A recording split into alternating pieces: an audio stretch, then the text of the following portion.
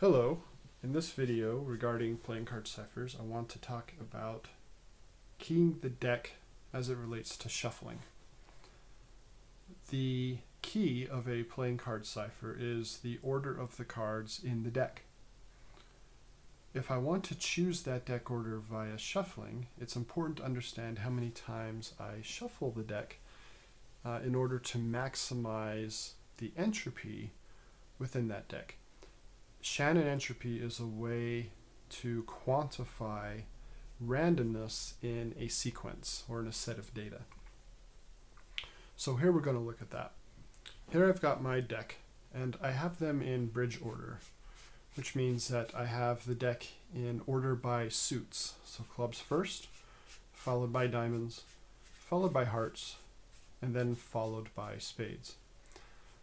If I were to assign a numerical value to each card in the deck using this bridge order, aces would be low, so the clubs would be their face value of 1 through 13. This means then that the diamonds would be their face value plus 13. So the ace of diamonds would be 14 through the king of diamonds, which would be 26. Hearts would then be their face value plus 26. So the ace of hearts would be 27 through the king of hearts is 39, which finally means that the spades would be their face value plus 39. So the ace of spades would be 40 through the king of spades, which would be 52. Thus, every card in the deck has its unique value assigned to it.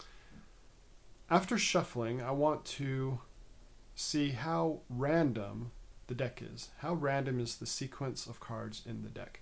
When we talk about randomness, we talk about equiprobability, in that uh, a card has the just as probable of chance of showing up at one position in the deck as it does at any other position in the deck. Okay, and so uh, let's talk about that. So in order to quantify this, we can do that by taking the difference of adjacent face values. So for every position in the 52 positions in the deck, I would take the first position and take its difference uh, with the next position in the deck. And I would do this modular 52. For those who are not familiar with modular arithmetic, modular arithmetic is the way to reset your counting after a specific point. Uh, it's Clock math is a common example. We have 12 values on a clock face, on a standard clock face. So when I start my day at 1 a.m., 2 a.m., 3 a.m., and work my way around the clock face, as soon as I hit 12, I reset back to 1, don't I? So instead of saying 13, 14, 15, 16, as I would in a 24 hour clock, on a 12 clock, I now say it's 1 p.m., 2 p.m., 3 p.m., and work my way back around to midnight, of which point I reset the counter again and go back to 1. So modular arithmetic is just a way to reset your counting after a maximum value. So for our cards, our maximum value is 52. So I'm going to take the difference of two adjacent cards and then bring them back into the range of values of 1 through 52. And this will be done just by adding 52 to that value if it's a negative value. So let's go ahead and shuffle the deck a few times and see how this works in practice.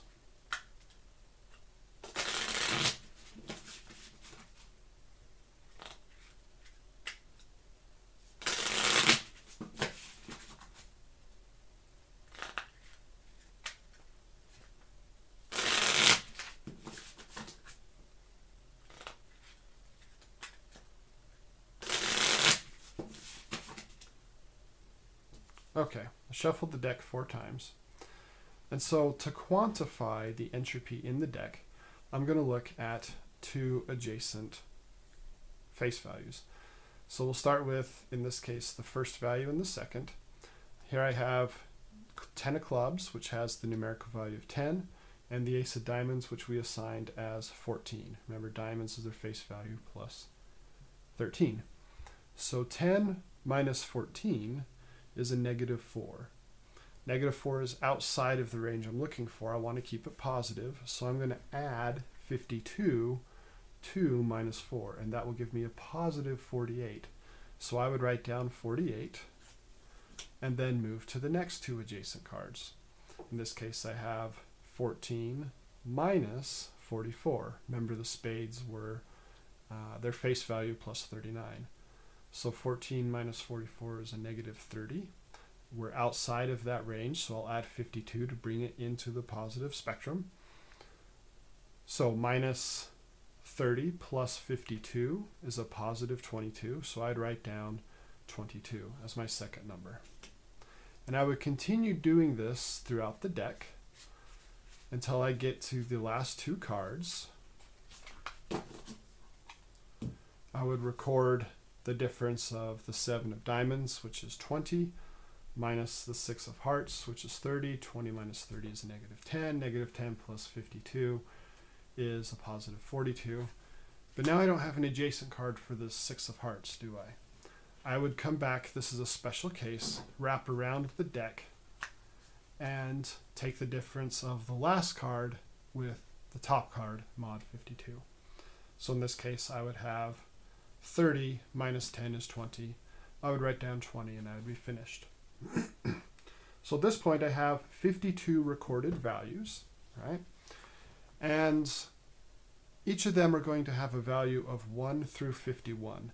I think it makes sense that I'm not going to have a value of 0 because no two cards are identical. And I'm not going to have a value of 52 because there is no card assignment of 53. So I'll have all numerical values, recorded values of 1 through 51, but I'll have 52 of them. I'm going to count the frequencies of these differences. So in this case, 10 minus 14 was a negative 4, plus 52 is 48. How many 48s showed up in my recorded values? I would count all those 48s as a frequency. Maybe three 48s showed up, so I would write down 3. Right? And I would look at all the rest of the differences and count how many times that difference shows up in my recorded values. and then I will normalize that by dividing it by 52. Each of those would have an equal chance of showing up. So we'll go ahead and normalize it by taking its recorded frequency divided by 52. These are going to give me a histogram of p-values. I then want to calculate the Shannon entropy of my deck, and this is by summing all 51 possible recorded buckets, right? All 51 p-values. Some of them will be zero. And I will take the negative p-value times the natural log of that p-value. This is defined as Shannon entropy. Uh, and I will see something like this. So this is showing me after zero shuffles, of course I have zero entropy. But as I work my way through one shuffle, two, three, four, five, and I work my way up to the top, we can see this graph uh, begin to emerge. Notice that after 10 iterations or so, maybe 9, 10, 11, around this area, my entropy doesn't really seem to grow anymore after this point. We'll notice some sharp increases up to that point, but after about 10 to 12, the amount of work of doing extra shuffles isn't getting me any additional entropy. I seem to be maxing out after about 10 to 12 shuffles. So to come back to our question then, how many times should you shuffle the deck when you're going to use that shuffle as a key? The answer should be around 10 to 12. Okay. Now I only shuffled these four times, so I could expect roughly about a value of 2 information entropy uh, in my deck. We could do better. We could get up to about, looks like 3 and a third. So I would just need to do maybe about five more shuffles, six more shuffles, and I could be up in this range of my entropy values. Uh, I will post a link in the description to where this comes from. This is an answer on Stack Exchange where someone asks about uh, the probability of cards showing up in specific locations on a shuffle. He went a little bit further and showed what deck orders look like after those 20 shuffles. So we can see uh, my starred order if I'm assigning my cards 1 through 52 and their position in the deck of 1 through 52. So card 1 is in position 1, card 10 is in position 10, and so forth, right? And as I begin to shuffle, here is uh, first shuffle, second shuffle. Um, it's interesting, he should have started with his uh, shuffle iteration as zero here. This is my first shuffle, my second shuffle, my third shuffle. I guess you could call this the second order of the deck. Uh, regardless, we can see, you know, these biases. The biases still exist in four, although a little bit harder to see. And they exist in five, where the angle now seems to be coming out here to the left. It's a little bit sharper on the six. We've come back here to the seven, so we can continue to see these biases but after about 8, 9, 10, 11, 12 shuffles, uh, those biases are no longer apparent. We can no longer see them in the deck. And we can see that the start order uh, with its position in the deck is now becoming just as equally likely uh, as any other position. So visually, this is what we can see, expect to see with our deck orders. All right, so hopefully that answers your question. When keying your deck, for your playing card cipher uh, using what's called a riffle shuffle. You should do it roughly about 10 to 12 times to maximize the entropy or maximize the randomness in the deck. Additional shuffles past 12, as we shown have shown here, uh, don't really get us any additional entropy, and so you're just putting in extra work for uh, no real benefits. All right, so thanks for watching uh, and have a good day.